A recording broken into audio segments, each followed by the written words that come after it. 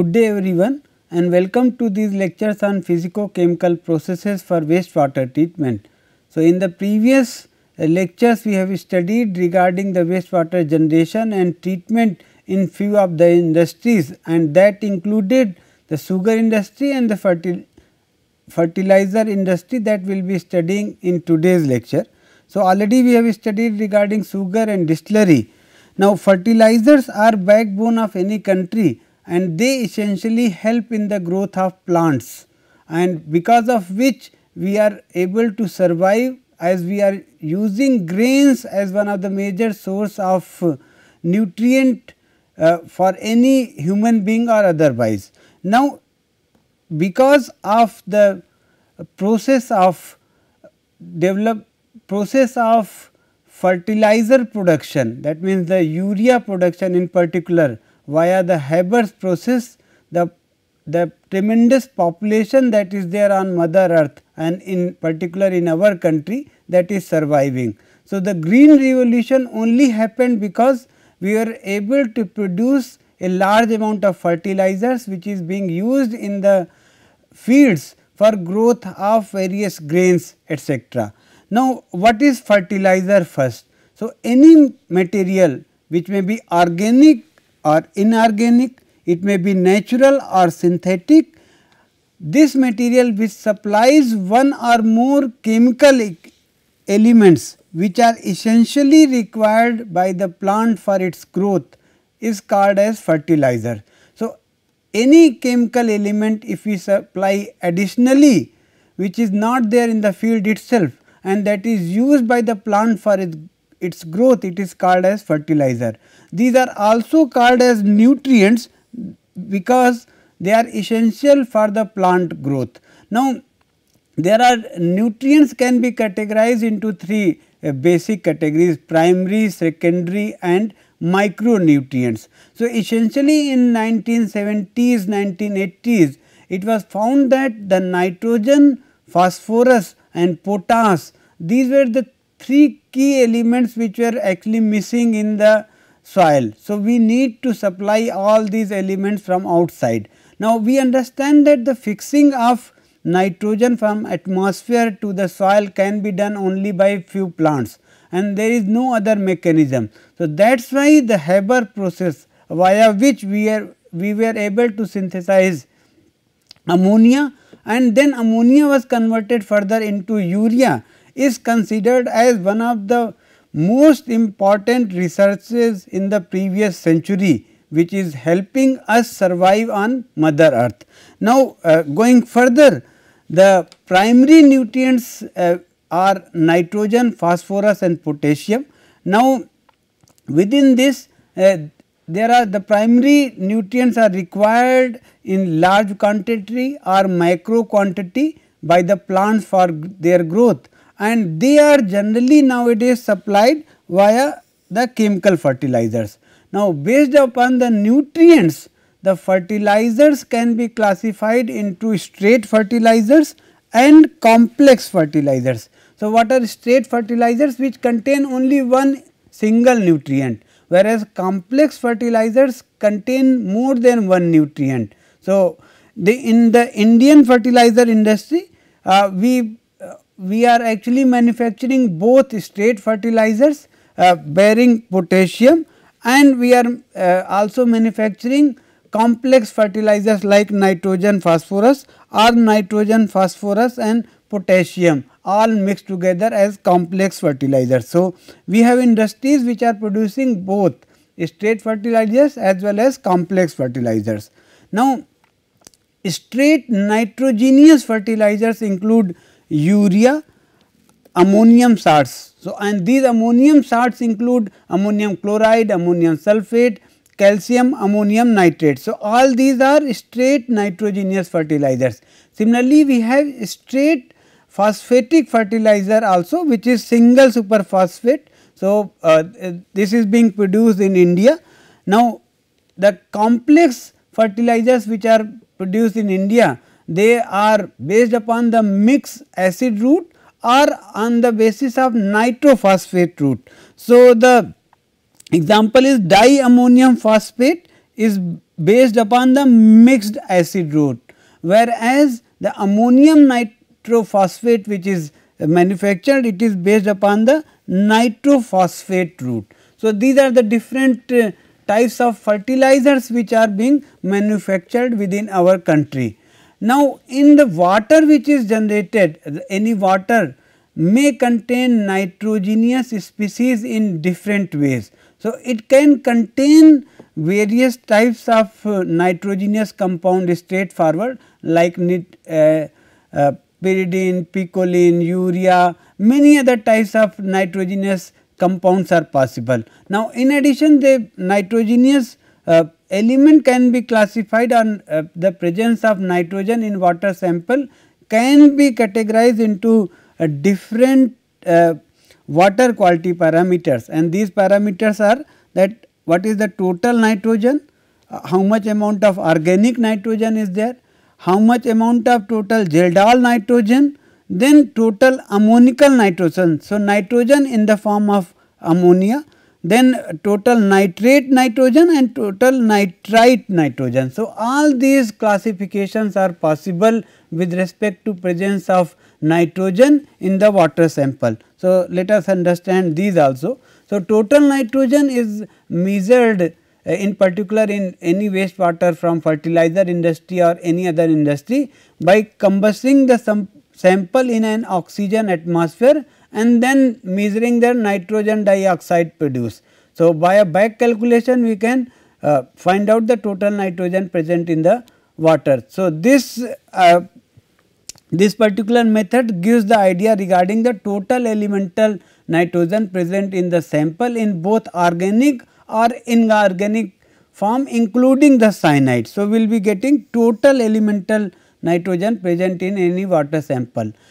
Then TKN the total Kjeldahl nitrogen is very important parameter. So, actually this uh, this form of nitrogen is defined by the test method uh, which is used as Kjeldahl digestion method and which determines nitrogen in the trivalent state. So, we try to find out the nitrogen which is there in the trivalent state. So, TKN can be considered to uh, comprise of ammonic, ammonium nitrogen, proteinous nitrogen and non-proteinous nitrogen including urea, DNA and other types of salt as well. Then organic nitrogen the organic bound nitrogen in the trivalent state we are considering with respect to organic nitrogen. It does not include all other organic nitrogen compounds, but includes such natural materials as proteins and peptides, nucleic acids, urea and many synthetic organic materials example quaternary ammonium compounds, nitrogen containing pesticides, polymers etc. So, all these compounds are considered. The organic nitrogen is then calculated as the total Kjeldahl nitrogen minus ammonical nitrogen. So, we subtract the ammonical nitrogen and we get the organic nitrogen. So, this is how it is found out. Now, the ammonia या ammonium nitrogen uh, in solution the total ammonical nitrogen may be present as either ammonia which is free ammonia like here or it may get converted into ammonium ion which is given here.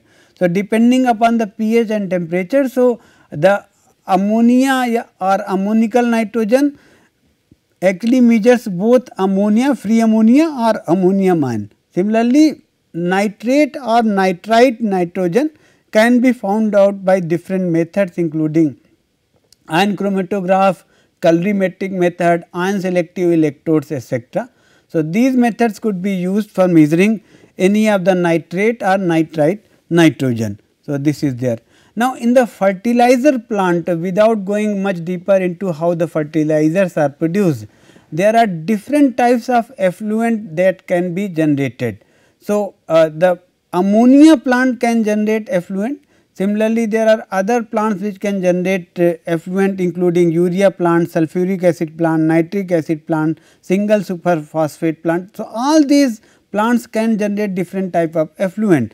So, let us try to understand little bit of the basics of this.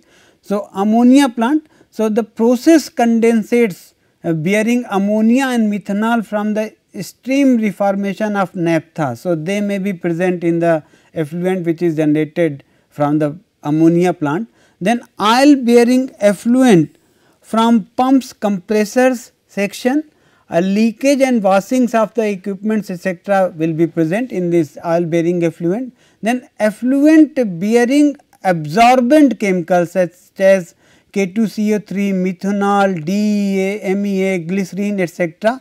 from carbon dioxide removal section uh, may be present and this is because of the uh, leakage spillage from the system. So, uh, these uh, effluents will be containing these type of chemicals and this will be generated from the carbon dioxide removal section. Similarly, carry over from gasification process uh, using uh, fuel oil containing various types of carbon, sulphide, vanadium etc., may be present. So, all these possibilities of effluent are there in an ammonia plant.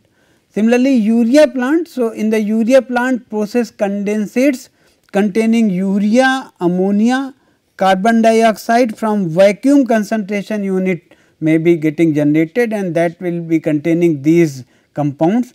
Similarly, effluents containing mainly oil from carbon dioxide compression section, leakages from pumps and washings of equipments may be present in the urea plant. So, these effluents may get generated in the urea plant. Similarly, in the sulfuric acid plant, uh, waste heat boiler blow down and acidic wastewater due to spillage, leakage and washings from the plants and equipments may be there. For the nitric acid plant, small quantity of boiler blowdown, so that will be there then acidic wastewater from spillage, leakage and washing of the plant and equipment will be present. So, both have very similar type of uh, wastewater getting generated. Then the single superphosphate plant. So, uh, in this the effluent uh, containing phosphate, fluoride and suspended solids uh, from the scrubber may be getting generated. Also effluent containing ammonia, nitrate, fluoride, phosphate and suspended solid from scrubber using the which is used for uh, controlling the emissions uh, from there the effluent may be getting generated. Also the effluent containing ammonia, nitrate, phosphate and suspended solid may be getting generated due to spillage, leakage and washing etc. So, these type of effluents may get, get generated in different types of fertilizer plant. Now, NPK plant the wastewater from draining and washing of equipment and also from leakages from pump glands etc., will be there. In the steam and power generation uh, unit also uh, the boiler blow down containing high TDS and conditioning chemicals such as hydrazine, sodium sulphite and sodium phosphate may get generated. Now, what are the processes which are being adopted for treatment of effluent and emissions generated during the production of intermediates or fertilizers in various fertilizer industries. So, that are discussed here. So, one by one we will be discussing each of the plant and what are the various processes which have been adopted for treatment of such effluents. So, in the ammonical effluent if it is getting generated in any of the plant. So, uh, so how to tackle with this? So, a significant quantity of ammonical effluent is discharged from nitrogenous fertilizer plant. So, it requires treatment because we have to reduce the ammonical nitrogen content before disposing this into receiving bodies to avoid pollution and also we do this to recover the ammonia as much as possible. So, for doing this the technology available for removal of ammonical nitrogen includes stripping, air and steam. Similarly, ion exchange units can be used for doing this. Reverse osmosis units have been used for treatment of such wastewaters. Chlorination and biological nitrification and denitrification. One more thing that uh, we ourselves in our research group are doing lot of work on electrochemical uh, treatment or electrochemical nitrification and denitrification. So, this this is also possible and this is this is under development stage. So, this is also possible to do this both electrochemical nitrification and denitrification. So, uh, this is possible and this technology is also getting slowly slowly developed for treatment of such effluents. Now, only stream stripping is most widely and successfully used for stripping ammonia from ammonical effluent. So, uh, this is this is the most common method which is being used. So, ammonia in the nitrogenous fertilizer plant effluent uh, contributes uh, is mainly from the process condensate and which is formed while cooling of the synthesis gas. So, the concentration of the um, process ammonia in the process condensate it depends upon the age and temperature of the shift catalysis and the process condition. So, if we can improve upon this certainly the concentration of the ammonia will get reduced. So, and the so for what is done is that the process condensate is first stream stripped and the stripped overhead uh, is either incinerated or condensed to recover the aqueous ammonia or is injected into to the primary reformer stack. In the fertilizer plant the stripped overhead uh, containing ammonia is further scrubbed with dilute phosphoric acid. So, this is done. The scrubbed liquid is used for complex fertilizer production and some of the portion is sent back to the sulfuric acid plant for neutralizing the effluent. So, we can use it for various purposes. So, this is possible. The scrubbed gas is vented to the atmosphere. The stripped process condensate uh, is used as a cool uh, is used in the cooling tower makeup also as boiler feed water after passing it through activated carbon filter. So, we have adsorption unit which is there and some polisher is used before using the stripped process condensate in the cooling tower makeup or for boiler feed water. So, this is possible. Now, going further urea plant effluent so, the largest source of the liquid pollution in urea plant is process condensate which is formed in the concentration section while urea is evaporated under vacuum. So, this is where the liquid pollution is happening. So, the evaporated process water is condensed in the surface condenser and the resultant process condensate contains 5 to 6 percent ammonia and 1 percent urea. So, the uh, how it is treated the condensate is treated in the deep hydrolyzer stripper section where the free uh, carbon dioxide and ammonia are stripped off. So, they are stripped along with the CO2 and the ammonia formed by the hydrolysis of the urea in the hydrolyzer. So, this is uh, this happens while the overhead condensate is refluxed and partly recycled to the condenser for reuse. The stripped process condensate contains about 2 ppm urea and 5 ppm ammonia and it is reused as a boiler feed water after polishing again with activated carbon filter or further treatment. So, before using as boiler feed water it may be treated little bit. The deep hydrolyzer stripper uh, combination yields maximum recovery of carbon dioxide and ammonia from the process condensate and we get very pure condensate. So, almost all the Indian urea plants have installed this urea hydrolyzer stripper in their facilities. So, this is there.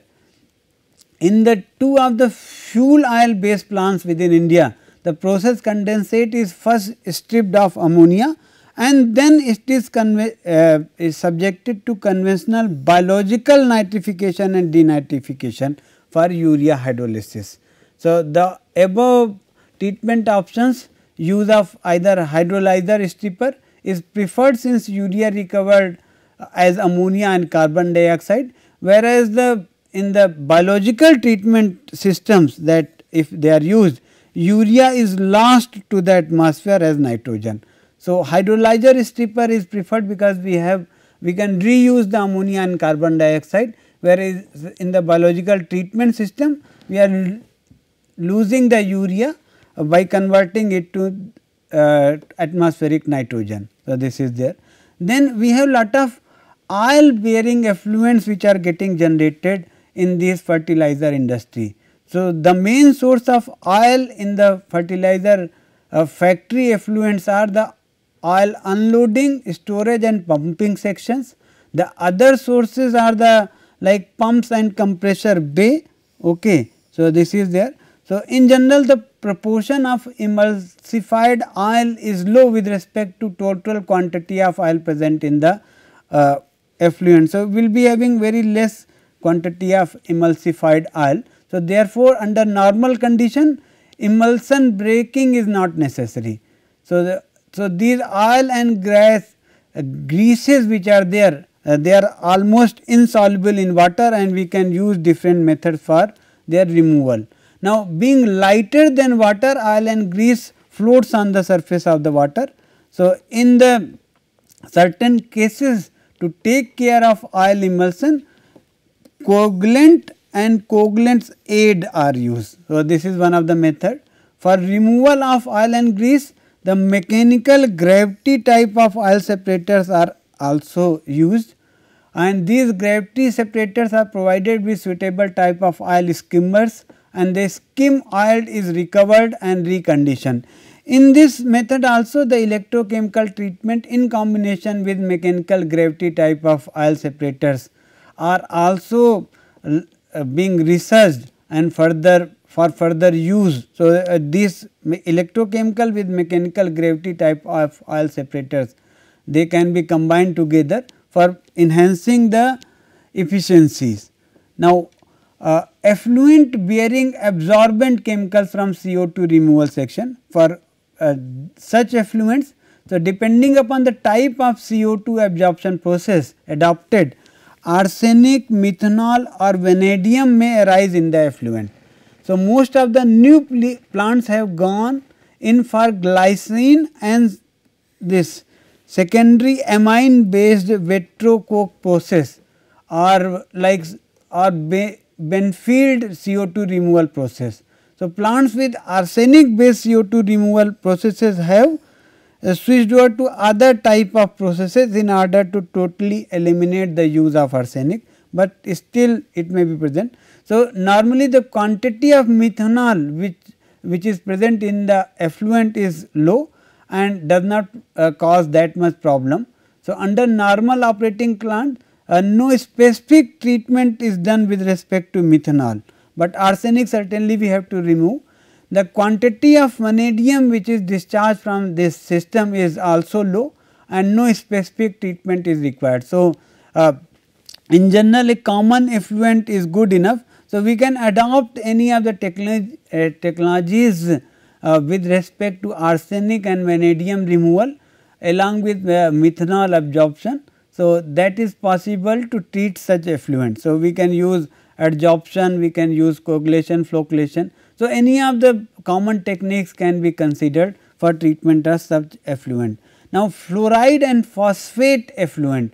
So, almost all the effluent in the NPK plants are recycled back into the process itself and a small quantity of effluent uh, is released which is containing the leaks, washings etc. and it is collected in a tank and set to the phosphate and fluoride removal plant because they will be essentially containing phosphates and fluoride. The main source of effluent from phosphoric acid plants are the scrubber liquids generated through scrubbing of gases, the gypsum pond water and the floor washing. So, all these are the main sources of effluent which are getting generated. So, what is done is that that the effluent is collected treated with lime slurry. So, we are using lime slurry to increase the pH from uh, up to 4 to 5. Then at this pH most of the fluorides gets precipitated as calcium fluoride. So, that will go as calcium fluoride. Uh, so, we are already using lime slurry. The solids settled at the bottom are separated and filtered. The filtrate and the overflow from the clariflocculator is treated with more lime to reach the pH to 9 and 10 and at this condition the phosphates and fluorides are further precipitated as calcium salts and separated from the clariflocculator. So, the overflow from the clariflocculator is further sent uh, for in the balancing pond for pH correction and then further reuse itself in the industry itself. So, this is there. Now, then there is a nitrophosphate effluent may get generated and uh, this will contain ammonical nitrogen, phosphate, fluorides, nitrate nitrogen and suspended solid. So, it will require a series of uh, treatment for removal of these pollutants. So, depending upon the concentration of these pollutants present, a different strategies may be adopted to treat such effluent. So, the liquid effluent from nitrophosphate is first sent to the equalizing tank to avoid the shock logging and then it is air stripped to remove the ammonical nitrogen. So, first this may be removed. So, this is there. The phosphates and fluorides are removed in two stages with lime as we have discussed earlier. The nitrate is removed from the effluent by biological denitrification process. So, uh, this is done. A source of organic carbon is provided in the reactor and especially cultured bacteria breaks nitrate and nitrite to nitrogen and oxygen which escapes to the atmosphere in this biological denitrification. Biological treatment was the only option available for removal of nitrate from the effluent till now, but there are other technologies including electrochemical technologies which are uh, a lot of research is going on and they may come into picture soon. Uh, so, this is there. So, now, in most of the plants because all the three nitrophosphate plants have generally they are using right now biological treatment option, but other options are also coming into the picture. So, this is a, a common fertilizer industry effluent system may be there. So, we may have different types of uh, treatment unit depending upon the requirement. So, I will not discuss that. Now, effluent discharge standards for straight nitrogenous fertilizer. Uh, there are different uh, government of India has stipulated certain standards. So, after treatment the effluent should always comply to these uh, range of characteristics. So, what are their range? So, pH should be between 6.5 to 8, the ammonical nitrogen should be less than 50, the total Kjeldahl nitrogen should be less than 100, the free ammonical nitrogen should be less than 4, nitrate nitrogen should be less than 10. So, this is there. Similarly, cyanide may be present. So, cyanide, vanadium, arsenic all have to be less than 0.2 milligram per liter. Suspended solid is allowed maximum 100 milligram per liter. So, oil and grease have to be less than 10 milligram per liter. Similarly, chromium and total chromium may also be present. So, that have to be limited to 0.1 and 2 milligram per liter and for straight phosphatic fertilizer industries the respective uh, standards which have been prescribed are that the pH should be between 7 to 9 suspended solids uh, sorry there is mistake here. So, suspended solids should be less than 100 milligram per liter oil and grease should be less than 0.1 uh, chromium and uh, chromium as chromium 6 should be less than 2 milligram per liter, phosphate and fluoride also are limited up to 5 and 10 milligram per liter. So, uh, these are the various references which have been used in this uh, slide uh, making. So, fertilizer industry is one of the most important industry for any country and its growth and because of which the whole of the population is surviving and we, without food, without food grains we cannot survive. And with India's growth, the fertilizer industry is bound to grow. Now, India is also trying to make triple superphosphate and different other types of fertilizers as well. So, this industry is bound to grow and with this the challenges associated with treatment of water and generated in these industries is also bound to grow. So, uh, accounting for these water and new type of challenges, the new technologies are also slowly and slowly coming into picture. Except for biological nitrification or denitrification, the most of the processes used in the treatment of fertilizer industry wastewater are physico or physico chemical or electrochemical. So, uh, this is a, a, great area of uh, research and already treatment technologies are available, but there are many other challenges. So, for this also Uh, we should always perform research and understand the characteristics of the water which is getting generated, then only we can properly develop technologies for treatment of such wastewater. So, we will end the, this section. Thank you very much.